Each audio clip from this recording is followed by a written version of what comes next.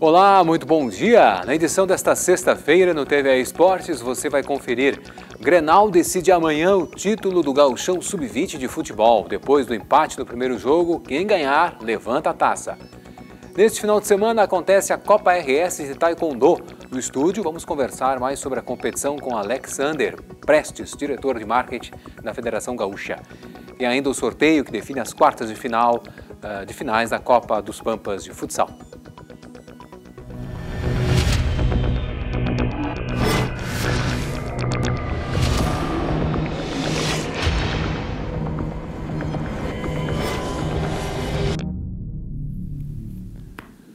Olá, muito bem. Aí mais um TV Esportes no ar. Amanhã tem clássico Grenal valendo o título do Gauchão de Sub-20 e você vai poder acompanhar todos os lances da decisão ao vivo aqui na tela da TVE a partir das 2h45 da tarde.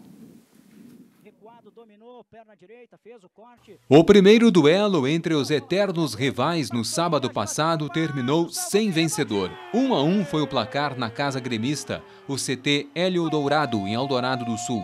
Amanhã, o palco da decisão é a morada dos Quero-Queros, em Alvorada. Uma nova igualdade leva a decisão para os pênaltis. Em busca do quinto título consecutivo, o Inter não pode contar com o lateral Alain, expulso no confronto anterior. No lado tricolor, o zagueiro Gustavo Martins e o atacante Pedro Clemente estão fora, também por terem levado cartões vermelhos no jogo de ida. A grande final começa às 3 horas da tarde e os torcedores colorados terão acesso gratuito ao estádio. Mas antes, é necessário imprimir um e-ticket no site oficial do clube. Além disso, é preciso levar um quilo de alimento não perecível. E a gente reforça que todas as emoções do Grenal de Sub-20 estarão aqui na tela da TVE a partir das 2h45 da tarde.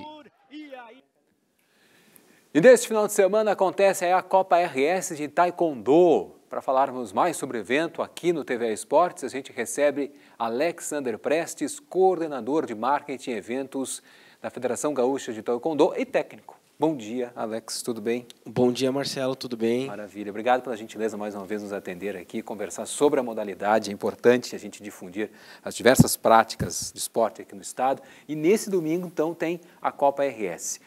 Quantos atletas já? Como é que está organizado? Como é que vocês pensaram o evento para esse final de semana?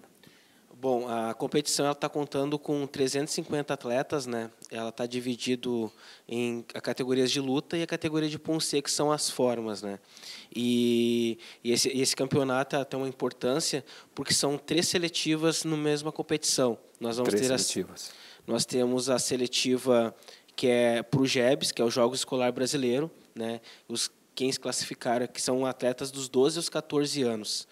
Que quem se classificar vai para o Rio de Janeiro em novembro, né? disputar, no caso, a fase, essa é a fase estadual, depois vai para a fase uh, nacional, né? Uhum. dos Jogos Escolares.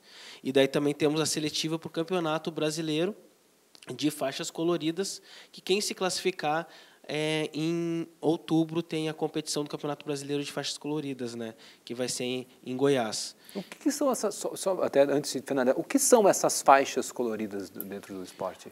Assim, ó, a, nós temos as divisões de faixas, né? Hum. Então, faixa colorida, por exemplo, ela é da branca, ela vai até a faixa vermelha. Hum. Né? E depois temos a categoria ranking, que é a categoria de faixa preta, que somente são as faixas pretas da, ah, da modalidade. Né? Então tem essas a faixa colorida da branca, depois tem amarela, verde, azul, vermelha. Tem umas intercalandos ali também. Uhum. Mas uh, basicamente são essas faixas coloridas que tem ali que são os iniciantes, são as categorias que estão em crescimento até chegar à faixa preta, que teoricamente é as categorias mais avançadas, né? Beleza. Bom, então, uh, falaste duas seletivas, né? Que eu estava começando a falar sobre as faixas coloridas. Tem, outro, tem uma terceira seletiva que também ocorre nesse final de semana. Isso. Aí a categoria faixa preta, aí ela tem a seletiva para a Copa do Brasil, né? Os faixas pretas que estão participando vão estar tá, vão tá, vão estar competindo para a Copa do Brasil que vai ser em dezembro em Recife, hum. né? E a gente também está contando, vai ter ser praticamente aí 200 lutas no do, total do dia. No dia, 200, 200 lutas. lutas, né? Então vai ser bastante, vai ser bem. Começamos às 9 horas da manhã e vamos até 8 horas da noite com competições separados em três quadras, né? A idade do, do, dos atletas? Pois então, nós temos assim, nós temos a categoria pré-competitiva que vai ser como se fosse um festival, né? Sem contato, sem, sem que eles tenham aquela, a, como é que eu posso dizer, ou, a competição propriamente dito, né, que é dos 4 até os 8 anos. Então, basicamente, eles vão estar ali. Depois nós temos a categoria infantil, que é dos 9 aos 11. Nós temos a categoria cadete dos 12 aos 14, a categoria júnior, que é dos 15 aos 17, categoria sub-21, que é entre os 17 e os 21 anos, e a categoria adulto, que é a partir dos a, a part, e, a, e também a categoria master, que é a partir dos 30 anos de idade, que daí são as pessoas mais Todos os atletas eh, ligados à federação e às associações e clubes ou, ou não? Sim, são todos eh, a, na Federação Gaúcha, né? São uhum. todos os que são filiados à federação. Aí tem as associações, né? Então nós temos equipes aí de Erechim, Caxias, Parobé, da região metropolitana aqui em grande parte, uh, Pelotas, então tem várias uh, várias uh, equipes, né? São 27 equipes. 27 equipes. 27 então, equipes no, Vai ser um domingo movimentado vai, vai ser, né? vai ser, vai ser bastante. Bom, o, a Copa RS ela já tem um, vamos dizer assim, é, já existe um ranking, uma pontuação exclusiva para a Copa? Já, sim, já existe? Sim, existe. A gente fez a primeira etapa, na verdade, do campeonato estadual, tá. né, que foi em, em abril em Sapucaia também. Nós fizemos a primeira etapa, foi lá, o pessoal pontuou, e agora tem a Copa RS, que o pessoal também pontua para o ranking gaúcho. Né? Esse pontuação para o ranking gaúcho, ele vai gerar o quê? Vai gerar pontuação, o primeiro colocado que ficar, ele gera pontuação no ranking nacional. Então, alguns pontos vão para o ranking nacional também, pra, no caso, faixa preta. Né? Faixa colorida já não tem essa, esse ranking, porque eles estão mudando de graduação.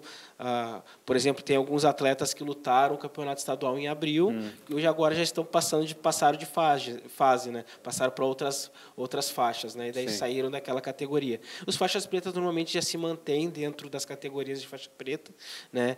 E assim vão indo dessa maneira. Esse evento que tu disseste lá, na, uh, que acontece em Recife, das faixas da, da, da, faixa preta, ele é um dos é o, é o terceiro mais importante, ou, ou, é o primeiro mais importante da, da, do, da faixa preta? Esse que, por exemplo, tem, tem o ranqueamento que acontece agora na Copa RS leva lá para Isso. esse tem dois eventos, tem, tem três eventos no Brasil que são os mais importantes assim, né? O primeiro talvez é o Grande Slam Nacional. Ah. O Grande Slam Nacional ele forma a seleção brasileira. É então os melhores ranqueados no Brasil vão para esse Grande Slam para formar.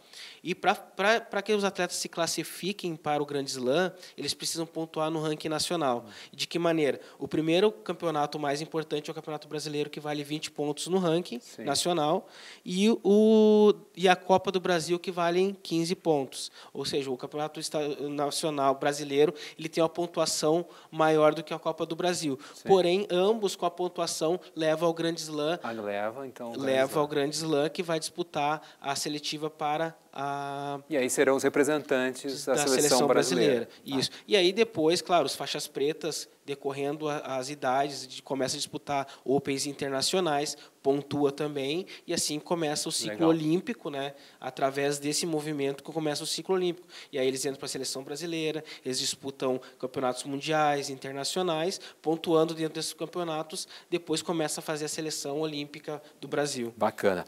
Bom, então, lembrando o serviço, no ginásio de esportes Alfredo Juliano, da Escola Municipal, uh, da Escola Municipal Alfredo Juliano, em Sapucaia do Sul. A Isso. partir de que horas o pessoal vai poder chegar? Eh, tem, o, tem ingresso? Como é que o pessoal pode O se... pessoal, uh, a partir das participar. 8 horas, 8 e meia, o pessoal já vai chegando, às 9 horas já vai começar as competições, né? E a, a, o ingresso é um quilo de alimento não perecível, né? Inclusive, quero agradecer à Prefeitura de Sapucaia por estar já promovendo esse aqui, através do secretário Charles, né, uh, auxiliando também nesse projeto para a gente poder fazer esse grande evento lá no domingo. A partir das 9 horas o pessoal pode a chegar. A partir das 9 horas. Então, Rua Valdemar da Rosa, número 640, em Sapucaia do Sul. Valdemar da Rosa, número 640, em Sapucaia do Sul. Um quilo de alimento não perecível. O pessoal chegando ali já pode também acompanhar aí essa festa do Taekwondo. E ajudar, né? E ajudar também. Exatamente. Pô, Alex, olha, Alexander Prestes, coordenador de marketing da Federação Gaúcha de Taekwondo, técnico, muito obrigado pela que agradeço, né? com a gente mais uma vez. Obrigado aí pelo espaço, divulgando Taekwondo Gaúcha para nós. Sempre importante para nós. Obrigado, tá? Obrigado. Bom, e um sorteio definiu na noite de ontem os confrontos das quartas de finais da Copa dos Pampas 2022 de futsal. A Liga Gaúcha de Futsal realizou o sorteio para os enfrentamentos entre as oito equipes classificadas. A competição é disputada no formato de mata-mata, ao estilo da Copa do Brasil. Nesta fase da disputa, seis times são da Série A do Gauchão de Futsal, além de um representante da Série B e um da Série C. Os confrontos são os seguintes. Uruguaianense enfrenta o Penharol de Guaíba. Horizontina encara o Cerro Largo. O Guarani Espumoso vai jogar contra o Lagoa Futsal de Lagoa Vermelha. E a AVF de Vacaria terá pela frente a AFUX de Seberi. Os jogos desta fase de quartas de final deverão acontecer nos dias 7 e 21 de setembro. O sorteio dos confrontos das semifinais já está programado para o dia 29 de setembro. As rodadas para as semifinais já estão previstas para os dias 5 e 19 de outubro. Agora vamos falar de tênis. O gaúcho Rafael Matos não foi feliz na estreia na chave de duplas masculinas do US Open e acabou eliminado logo na primeira rodada da competição. Em jogo decidido nos detalhes, Rafael Matos e o espanhol Davi Vega Hernández foram derrotados de virada pela dupla formada pelo equatoriano Diego Hidalgo e pelo francês Fabien Rebou na quadra 4 do complexo de Flushing Meadows. Matos e Hernandes dominaram o set inicial, vencido por 6-3. Já os sete seguintes foram extremamente equilibrados, com Hidalgo e Rebul a levarem a melhor em dois tie-breaks disputadíssimos. No último deles, o gaúcho e o espanhol chegaram a ter um match point para faturar a partida, mas não conseguiram aproveitar.